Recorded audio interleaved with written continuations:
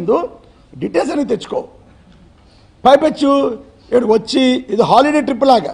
సాయంత్రం ఒక గంట మీటింగు మిగతాదంతా కూడా రూములో కూర్చోవటం రూముల్లో కూర్చొని ఏం చేస్తున్నావు జనవాహిని అనే కార్యక్రమం పెట్టావు. జనవాహిని అనే కార్యక్రమంలో ఏంటి నీకు? ఎవడన్నా వస్తే కంప్లైంట్ వస్తే కంప్లైంట్ నిజాలని భావించేసి నువ్వు దాని మీద వాగేటుండే శక్తి. నిన్న అంటాడు ఎవరో ఒక అమ్మాయి పవన్ కళ్యాణ్ ఫ్లెక్స్ ఇరవై ఎనిమిదో వార్డులో.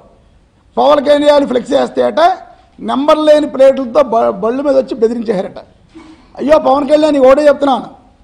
నేను తలుచుకుంటే కాకినాడలో నీ బ్యానర్ కట్టనివ్వకూడదు అనుకుంటే కట్టనివ్వను. కట్టనివ్వను. ఈరోజు మెయిన్ రోడ్లో అన్ని బ్యానర్లు కట్టుకున్నారు కదా. మీ పార్టీ వాళ్ళు ఫ్లెక్స్ పెట్టుకున్నారు కదా. ఎవరో చెత్త ఇరవై ఎనిమిదో ఇరవై ఎనిమిదో వార్డులో ఒక అమ్మాయి వచ్చి చెప్తే నువ్వు నమ్మేసి ఆ వారేహి అన్న ఆ బండి బండి మీద వచ్చి నువ్వు ఆగుతావా?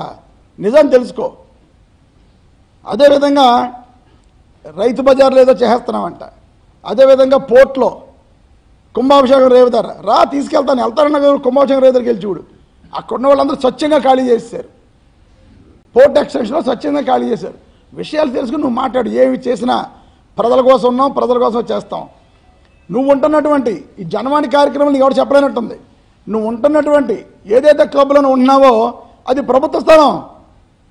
అది ప్రభుత్వ స్థలం కబ్జా చేసి అక్కడ ఒక క్లబ్ పెడితే అందులో నువ్వు ఉన్నావు. నీకు తెలియదు నువ్వు ఉన్నదే చెత్త ప్లేసు. నువ్వు ఉన్నదే ఒక లాక్పై చేసుకున్న ప్లేస్. ప్రభుత్వ భూములు ఉంటున్నావు.